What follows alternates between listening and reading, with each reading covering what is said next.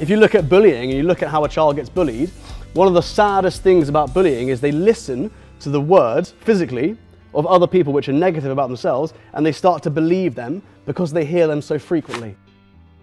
Now, if they are really suffering with confidence, you can do even more. You can start giving them affirmations. I am brave, I am strong, I am confident. They can say these things as they're doing press ups or on their own in front of a mirror, whatever it is.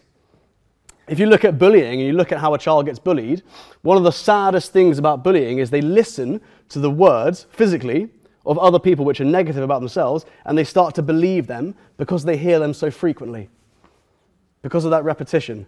So let's take control back, retrain the inner mind for a positive inner voice with affirmations. They work amazingly. I tested them on my daughter when she, when she learnt the word brave. She's two years old, right? I taught her what brave meant. I thought it was pretty cool to teach a two year old what brave meant. And I used to, whenever she used to bump into things, and they get progressively more clumsy, don't they? So they start off, you know, they can't do much. And then they, it seems like they get worse. They start to bump into more things, break things, fall over, you know, get more owies. And the, um, what, what I've noticed is that because I've been teaching her every time she got hurt to say, to get up and say, I am brave, you know, and it was in a really friendly, non-pushy way, obviously. But she stands up now. The other day, she, she, she fell over, stood up. I said, are you okay? She goes, I am brave. And then she cracked on. She didn't need me to pick her up, right? I just thought it was so sweet, so clever that she was able to understand what that was and do that. But it's, it doesn't matter what age they are. They can learn affirmations from any age, right?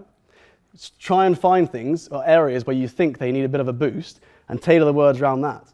Use, use those, those um, moments where they can attach an emotion to the word. So, for instance, she knows falling over is attached to the word brave because that, that elicits a certain response from her. Does that make sense? Even if she doesn't fully understand what the word brave means, she understands that I fall over, I stand up, and I say this, and I have a different posture, a different voice, and a different tone, and I act differently, which makes me feel differently. Does that make sense? Very powerful stuff. You start tapping into that, and you can really start developing a child's confidence.